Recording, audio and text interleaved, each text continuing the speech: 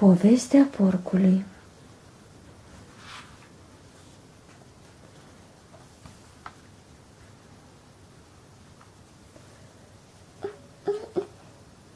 Acolo. După bazmul cu același nume, de Ion Creangă. Unde?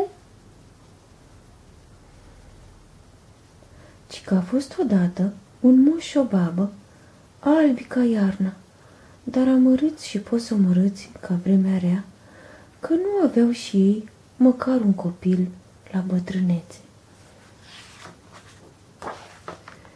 Într-o zi, sătul de atâta singurătate, moșul, sfătuit de babă, porni la târg cu gândul să aducă acasă și să înfieze prima vietate ce îi ieși în cale. Merse moșul ce merse și numai ce iată că vede o scroafă cu purcei. Cum îl văzu pe moșneag, scroafa o luă la fugă cu purcei după ea. Di, e. Numai unul mai mic și fără putere rămase în urmă.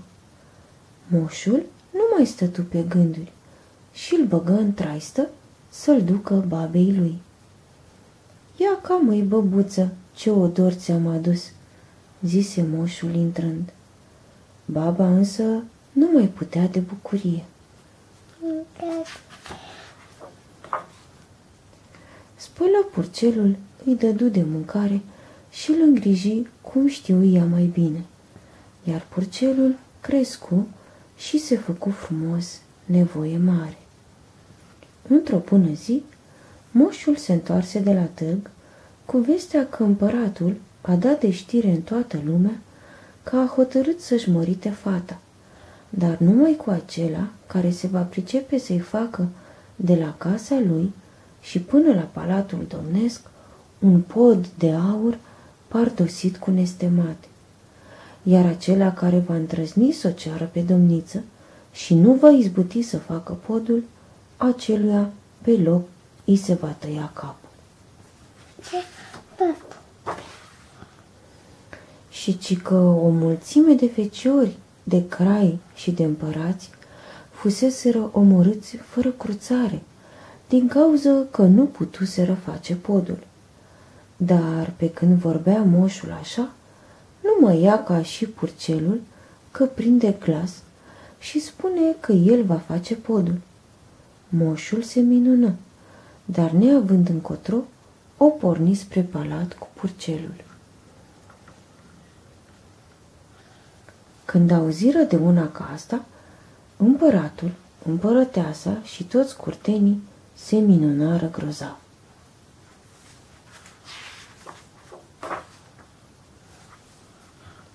Dar a doua zi, ce să vezi? O minunăție de pod se întindea de la curtea domnească și până la bordei, care se prefăcuse într-un palat măreț. Împăratul nu a avut încotro și dacă văzu că trebuie să-și dea fata după feciorul moșului, a doua zi o și trimise la palatul mirelui.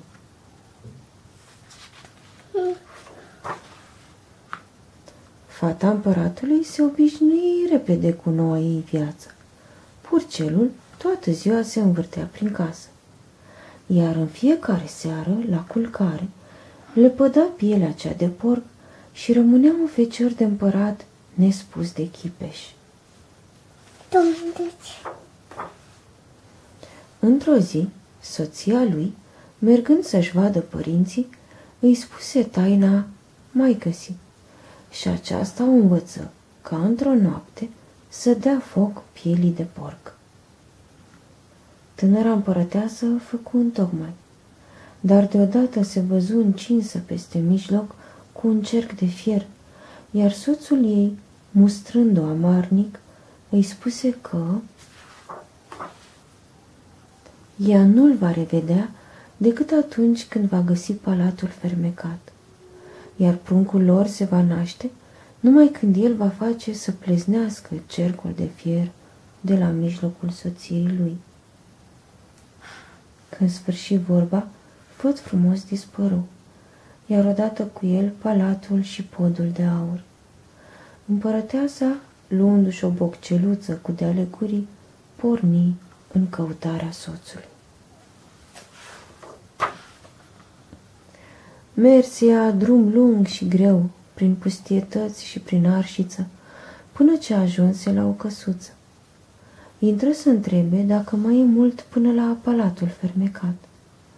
Stăpâna casei, o bătrânică blândă, îi spuse că nu știe unde e acest palat, dar o ospătă și îi dărui o furcă de aur care torcea singură.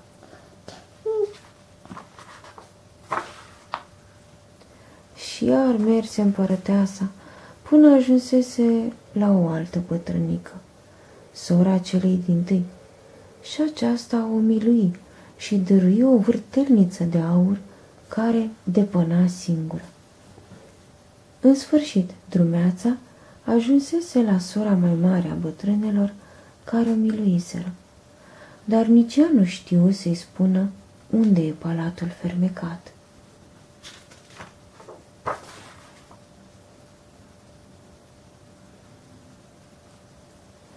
Fiindu-i însă milă de suferințele bietei drumețe, chemă toate ființele din jur să le întrebe de nu știu cumva calea spre acest palat. Și așa se găsi un ciocârlan șchiop care spuse că el o poate conduce pe drumeață la palatul fermecat, dar că până acolo e cale lungă. Iar bătrânica, luându-și rămas bun, dărui drumeței o tipsie cu o cloșcă cu pui de aur. Trecu astfel călătoarea cu călăuza ei peste mări și țări, pe tărâmuri neumblate, prin codrii cu fiare sălbatice. Până ce, sleită de puteri, ajunse în fața unui pod de aur care ducea la un palat minunat. Împărăteasa intră și așezându-se lângă o fântână, scoase furca și începu să toarcă. Nu trecu mult și veni o slujnică să ia apă. Văzând minunăția de furcă,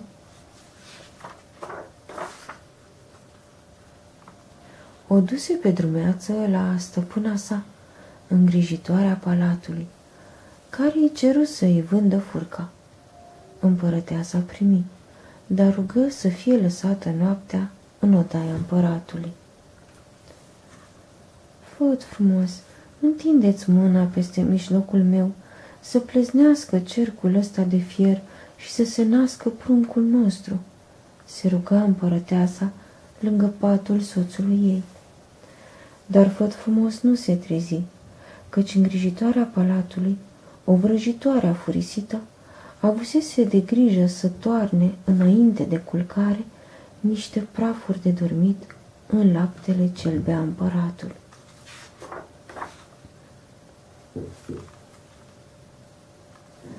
Această vrăjitoare era chiar scroafa cu purcei, pe care o întâlnise moșul odinioară.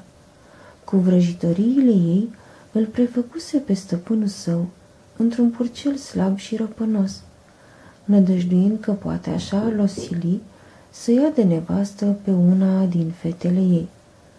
În zilele următoare, vrăjitoarea luă drumeței pe același preț vârtelnița de aur și cloșca cu pui. Dar în ultima noapte, un credincios al împăratului, aflând de înșelătoria vrăjitoarei și spunându-i stăpânului său, acesta nu mai bău laptele, iar când veni împărăteasa,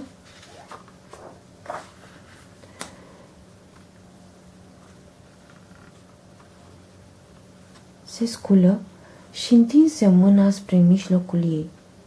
Atunci cercul de fier plesni și îndată împărăteasa născu un prung de toată frumusețea. Împăratul, după ce răsplăti pe credincios, luă de la vrăjitoare odoarele smulse cu vicleșug de la soția lui, apoi porunci să lege de coada unei iepe pe vrăjitoare și un sac cu nuci. Și când începu iapa a fugi, unde pica și din cotoranță bucățica. Apoi, făt frumos, își chemă părinții lui, ai soției și nenumărați oaspeți și făcură o petrecere fără seamă, care poate mai ține și astăzi, dacă nu s-o fi sfârșit. Sfârșit.